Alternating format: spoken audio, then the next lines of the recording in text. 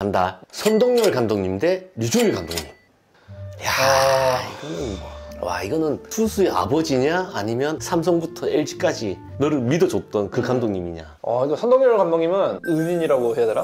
어, 어. 감독님이 내가 삼성 들어갈 때 대학 교에 왼손 투수 3명 있었어. 어. 그리고 나는 고등학생이었고 어. 그 둘 중에 하나를 뽑아야 되는데 스카우트 팀에서는 그 대학 선수를 뽑자. 어, 근데 선동열 감독님이 이제 나를 뽑아주신 걸로 알고 있어. 기회도 많이 주시고 어. 정말 키워주시려고 많이 했지. 용돈도 근데 용돈이라기보다 잘하는 선수들을 많이 챙겨주셨어. 어, 본인 사비로. 어. 근데 그런 것도 많이 받았고 그 뒤에 대표팀에서도 코치님으로 또 만나기도 하고 하지만 하지만 어 나는 그래도 류중일 감독님이 올라가는 걸로 아 왜? 왜? 아 일단은 그건 뭐 4강 가서 그치 얘기하고 어,